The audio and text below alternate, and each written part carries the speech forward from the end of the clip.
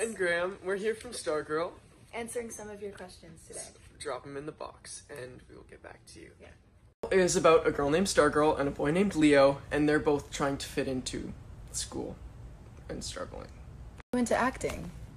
I started uh, acting, oh, a long time ago now, I guess. I haven't thought about that in a while. Because our cousin was doing it, and it looked pretty fun, uh, and we just never, I just never really stopped.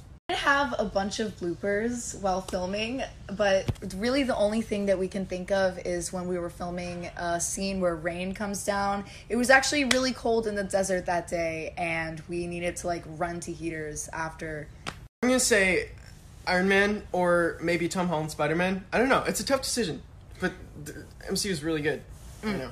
Aladdin is the live action is the best movie Disney has made. I'm sorry, it's true. Because I think we're gonna have Yeah. Ready?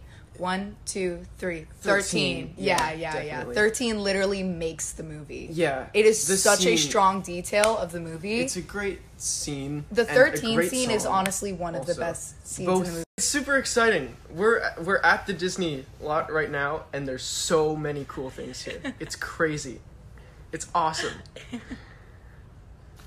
Very good question. My favorite scene to shoot was there's a scene uh, during the montage where just we're just running around the desert, and that was honestly, it, I think it resonated the best in the movie. The Mandalorian. It's easy. It's so good. It's so good. Aladdin live action. you need to watch. Hey, It's so good. how many times have you seen that? It's really exciting. I absolutely can't wait for it to come out. It'll be really fun. Me too. I can't wait for everyone to see it. For all questions. Watch Stargirl on Disney Plus on Friday.